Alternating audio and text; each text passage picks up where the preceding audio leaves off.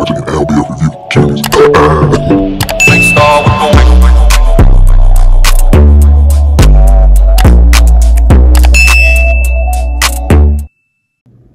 What's going on, guys? Welcome back to my channel. I'm here with another Ruthless review. If you're new to the channel, be sure to hit that subscribe button. Everybody like, comment, share. I got to start with you. Listen, if y'all watch the show, if y'all got the BET Plus app, listen.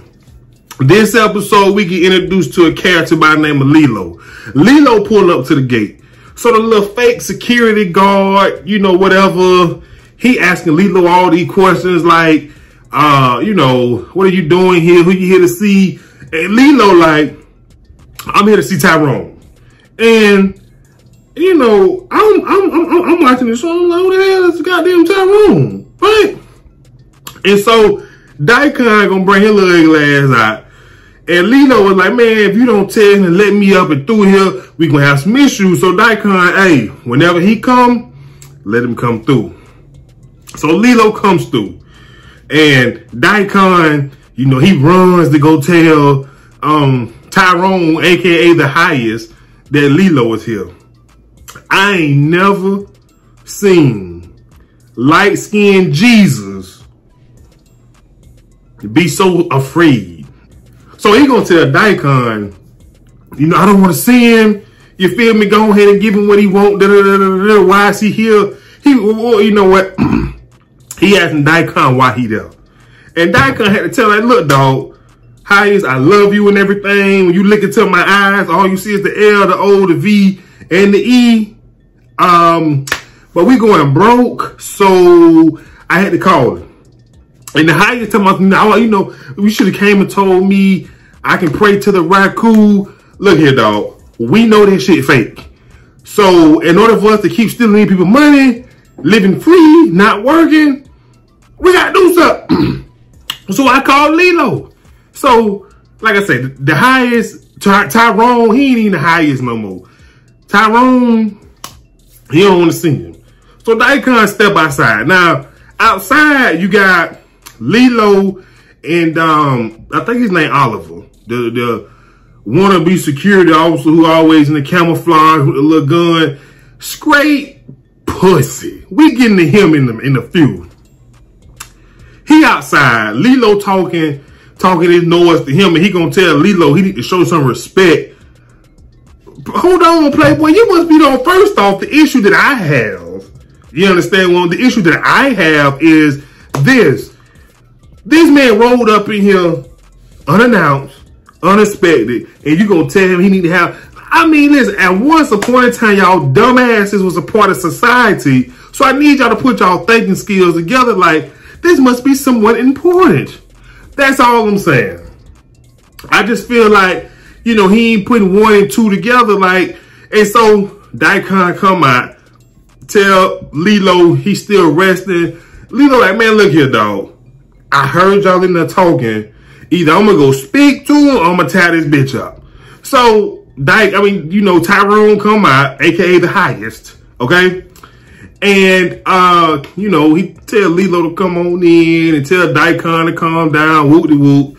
And so um Lilo go up in there. And the first thing he says, I said, it's stinking here. It's like some some it's like some stank ass. And you know what? Y'all know the high is now. He loves a tight man booty hole. So Lilo get down to the business. we find out this shit fake. Lilo is Tyrone's probation officer, and they have an arrangement that basically Tyrone is to move drugs and get him women and he can pimp and get some money. And you know what, man? I was so happy for Tyler to put, cause I, I, I love the twist. You understand what I'm saying? Because I know this cold situation ain't real. You understand what I'm saying? But at the same damn time, it's like I need the some, you know, some type of information. Let me know. So basically, Lilo, like, look, if you don't start moving my drugs, you gonna go back to prison. And so he like, okay, you know, we'll smuggle them to Mexico with the kids. And I'm just like, oh damn, this joker. Look here, Tyrone gonna make sure He don't go back to prison. But he, listen, prison, liking men, raping men, yeah, you know, Tyrone, is possibly right that you need to go back to prison because what you doing out here on these streets, it ain't right. So nevertheless, the highest tells um Lilo, you know, go meet up with Elder Mother. we gonna bring, you know, the girls to you. And so he leaves. Daikon come back in. He tell Daikon don't give him any of the pure girls. So I'm, I, am i am going to assume that pure means virgins.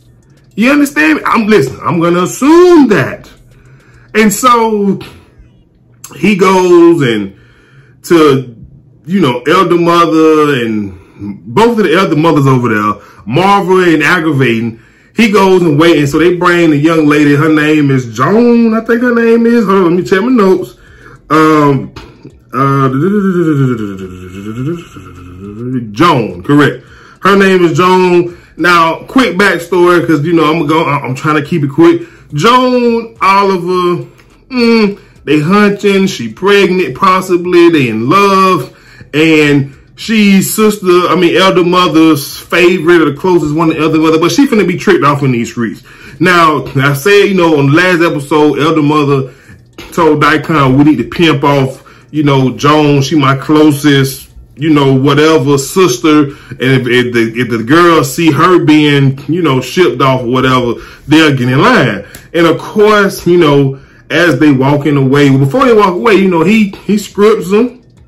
He look at them tig old bitties. The nipples was, eh, you know what, I'm doing too much. But he look at the tig old bitties. He starts smelling it. He like, oh, you trembling. That's turning me on. You can't stand me. You don't like me. That's turning me on.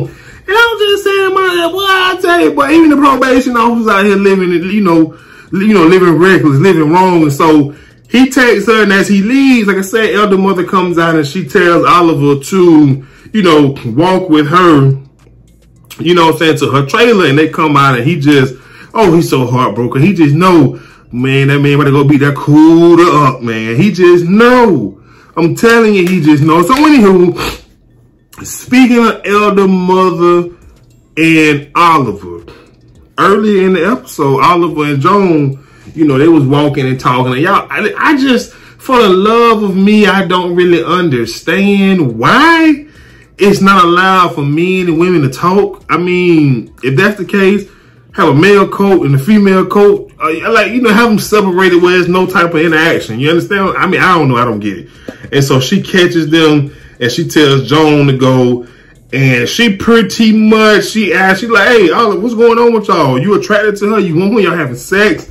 And he was like, no, ma'am, you know, you know, that's against the Rakkan you know, that's for a bid and everything. And she, hey, hey, hey, elder mother leaned in, her old ass, and she grabbed that pipe. She gonna tell me, ooh, and it big too.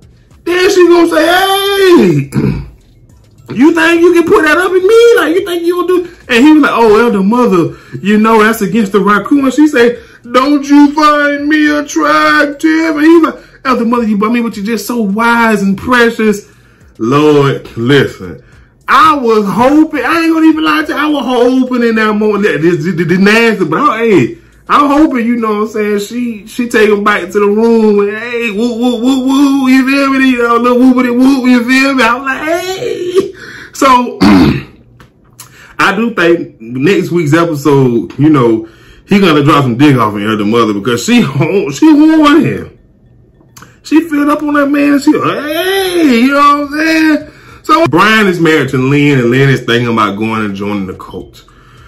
She at home, locked up in the bathroom, and Cynthia gives Brian a call. Cynthia, y'all, that's Malcolm's wife. and was like, hey, got a call from a homeboy. Basically, he let me know Lynn was in the area buying heroin. Brian go break in the bathroom, and she hides a kite. She hate him. She just want to be high. Listen, man.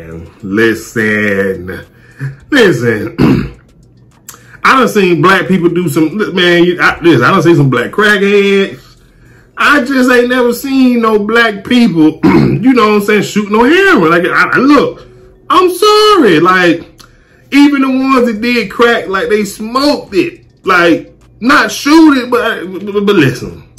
I'm gonna say it again, y'all. Listen, make it make sense. You don't even work. Why is you out here trying to do all these exotic drugs? Just smoke you some weed, get you, you know, a nice alcohol beverage of your choice. It could be Hennessy. It could be 19, it could be 1942. You feel me? Get you some like, you know, I hate when that's black people get exotic with the drugs. We was not meant to be, you know, these dope heads. We was black people don't post. Listen, I, I'm going too far, but I just don't like to see us doing all that, man. Just stick to the the alcohol beverages and the marijuana, and I think you know that's how we get into heaven. You feel me? So I'm gonna leave that alone. So anywho, moving on. Ruth is telling uh Tally like I got to get Daikon to let me punish Zane. So she goes to the trailer with Zane and basically like, look, I'm gonna get Daikon to let me let me punish you. Just scream and holler and make it seem like you're in a lot of pain. And so this helper said, why are you doing this? um, do you want to leave too? And so Ruth slapped and I'm just like, a little transparency here, Ruth, will go a long way because at this point, I just feel like you're doing a little too much. I like you and all, but you ain't even got a plan to get up out of here. So Daikon comes in, the Punisher and Ruth come in behind her. Long story short, these some freaky people. Ruth scripts the girl ass out. Daikon go sit down in the chair bite there. You see the chair bite there, right? And tells him, Ruth tells him, hey, get naked. He pull out his thing, you feel me? And, and, and he's jacking his thing on the Ruth beating her.